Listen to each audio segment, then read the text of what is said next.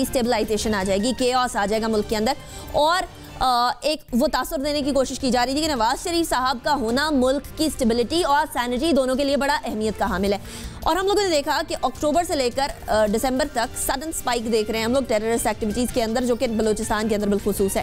کیا ایک تاثر دیا جانے کی کوشش کی جا رہی ہے؟ کیا خود ہاتھ سائڈ پہ کر لیا ہے کہ دیکھیے ہم لوگ یہ کام نہیں کر رہے تاکہ ہم یہ دکھا سکے اب اس حوالے سے بات کریں گے بریگیڈیئر فاروق حمید صاحب، یہ تاثر جس کی میں بات کر رہی ہوں کیا یہ دینے کے لیے تو نہیں تھوڑی، تھوڑا پیچھے گیا گیا بیک فٹ پہ جایا گیا کہ ٹھیک ہے، تھوڑی ایکٹیویٹی ہو جائے تو پتہ چل جائے گا عوام کو کتنا ضروری تھا نواز شریف صاحب کا ہونا۔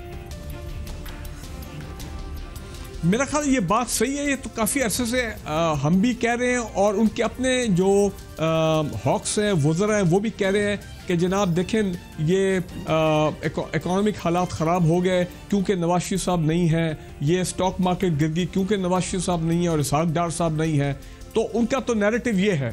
لیکن میں ایک یہ بات کہوں گا کہ دیکھیں، یہ جو موجودہ گورنمنٹ ہے نا یہ ہمیں بھی محسوس ہوتا ہے کہ یہ اتنا جس طرح کے گورنمنٹ کو حالانکہ یہ بالکل لیگلی طریقے سے آئے ہیں ڈیموکریٹکلی الیکٹ ہوئے ہیں اور پچپن کے قریب ان کے پاس فوج ہے یہ وزراء کی اور ایڈوائزرز کی۔ ان کو تو بہتر اگر یہ چاہیں تو یہ بہترین مثال گڈ گورننس کی قائم کر سکتے ہیں۔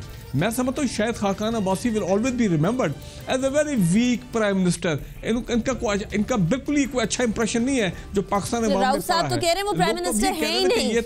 راؤ صاحب تو کہہ رہے ہیں وہ پرائم منسٹر ہی نہیں ہے۔ نہیں میں مانتا ہوں وہ تو نظر آ رہا ہے دیکھیں دیکھیں کم از کم آپ جب اس اپوائنٹمنٹ پہ آ جاتے ہیں کوئی آپ اپنا سپارک دکھاتے ہیں کوئی بریلینس دکھاتے ہیں آپ بھی تیس سال پرانے پولیٹیشن ہیں تو آپ نے کوئی کوئی تو آپ کی گرومنگ ہوئی نا پچھلے تیس سال میں ہمارے ایکسپینس کے اوپر تو لیکن وہ بہت ہی کیجول قسم کے پرائم منسٹر ثابت ہوئے ہیں۔ اچھا اب بات یہ ہے کہ اس وقت شریف فیملی کا انٹرسٹ جو ہے میں نہیں سمجھتا ہوں آئی ڈونٹ اگری ود روح صاحب کہ نواز شریف صاحب کو وہ واپس لانا چاہتے ہیں پاور سوال ہی نہیں پیدا۔ ہو ہی نہیں سکتا۔ وہ آلریڈی نااہل ہو چکے۔ میری اسسمنٹ یہ ہے کہ مارچ، فروری مارچ میں جب چھ مہینے پورے آ جائیں گے مے بی ایون ارلیئر ان کی اور ان کی فیملی کی لائکلی کنوکشن ہو جائے گی۔ تو پھر اگر ان کی فیملی کی لائکلی کنوکشن ہو جاتی ہے، تو کیسے ہو سکتا ہے کہ وہ کس ذریعے سے they will come back into the election والے معاملات میں اور پھر وہ پاور میں آئیں گے؟ سوال ہی پیدا نہیں ہوتا۔ اس وقت ان کی فیملی کی پرائرٹی یہ ہے۔